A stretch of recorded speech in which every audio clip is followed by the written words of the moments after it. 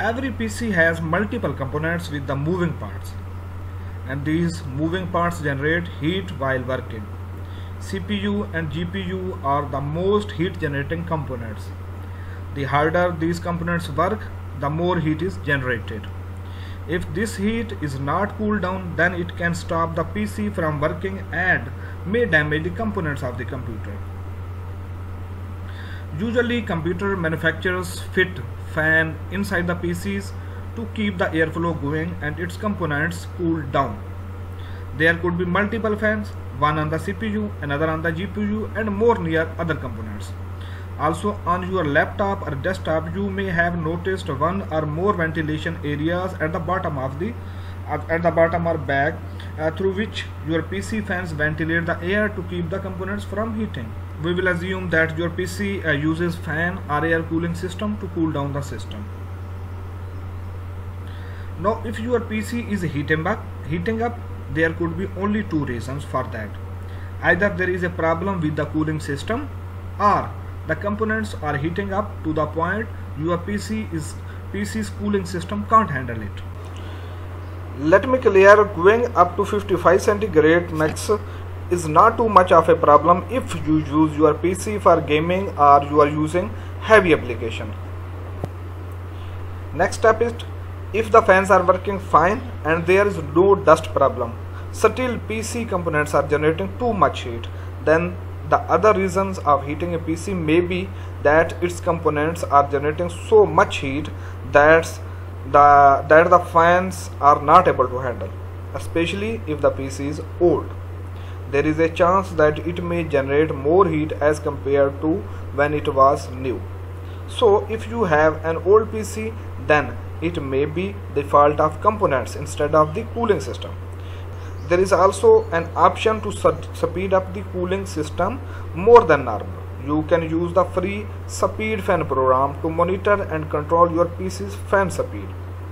Uh, this application allows you to control the speed of your PC fan manually or by using certain presets. You can also allow it to automatically manage fan speed according to current temperature of your PC and now I will tell you uh, I will show you a demo how speed fan application works.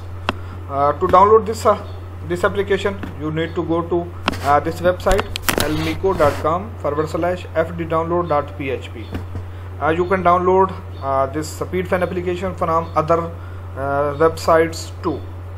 So th that's not a big deal. You need to go to google and uh, type download speed fan application. I have already downloaded it. So first we will install it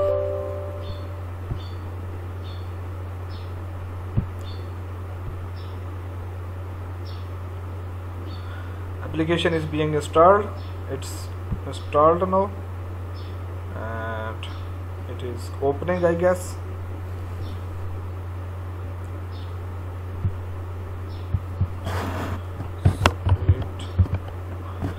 Fan is installed. I will open this applications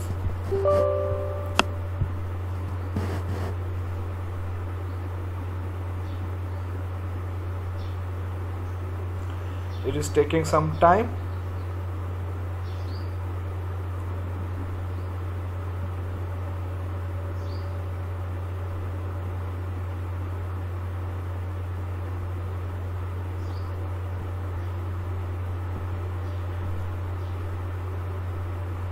From here you can configure it or uh, I will I will suggest that you must check this box automatic fan speed. If you click this uh, the PC the fan will work according to uh, the temperature. So it's the best option to select this option automatic fan speed. Okay? There is a configure button. You can configure it from here. There are uh, different options for fans for voltages for speeds and uh, the speed statistics are being loaded. But I will prefer automatic fan speed. This is the way speed fan application works. You can play with different settings and uh, advanced fan control speeds voltages. There are different settings. You can check any one of them. And you can select any one them of them but it is better to use this option. Here you see also the temperature is being shown. Uh, in the before, uh, few minutes ago we were seeing that the temperature of the core 0 was some uh, 55 centigrade or 270 degree centigrade but it's falling down now and the cores are getting uh, cooled. So that's the way to set speed fan now the next tip is to underclock CPU unlike overclocking underclocking your PC your CPU will also lead to uh, generating less heat as the CPU is not being used at uh, the speed it is built for. Of course this will also affect the performance of your PC but you shouldn't be using too heavy application and on a heating PC anyway you can underclock your CPU using multiple methods. You can either do it from PC BIOS or you can use a third-party application like uh, Intel Extreme Tuning Utility or you can do it from operating system power option. So I will show you a demo uh, going to power option of the PC and I will tell how you can underclock it. If you do it from operating system the power option is a much easier solution than the others so I will show it to you in Windows. In this in this demo I will tell you how to set processor power in power options. For this uh, press windows and R key from your keyboard and type this command power cfg cfg for configuration.cpl power cfg.cpl and press ok. When you press ok power options will be open. Yeah or otherwise you can go to control panel then go to hardware and sounds and then you will find power option. When you click power option you will see this page. On this page you are to click change plan setting this option. So i will click change plan settings. A new page is open. On this page you are to click this link change advanced power setting. So i will click this page and this page will open. From here you will see processor power management. This is processor power management. Click plus icon to expand it.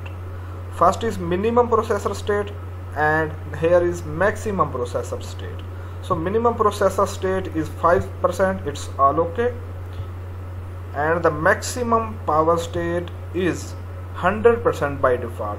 If you want to if you uh, want to run your PC smoothly so you are to uh, decrease this value to 70% you can also uh, set it to 80% 80% uh, will put um, less pressure on the PC if you don't want to put pressure on your CPU uh, you will select 70% so I will I will type 70% I will apply OK and this way the the PC's uh, speed PC will not slow down and its uh, performance will increase. These solutions should be enough to call, cool down your PC if there was a problem with the cooling system or the damage was not too much. However, if your PC is still heating, heating up, you may like to give an external cooling system a tray. A laptop user can use a portable cooling pad uh, to increase cooling power of the PC. The other trick is to use uh, to take advantage of copper coins. As copper has more thermal conductivity, it can absorb more heat if you place them on the top of your PC. So you can also use the trick of copper coins. Thanks for watching. Like this video, subscribe my channel. Bye bye.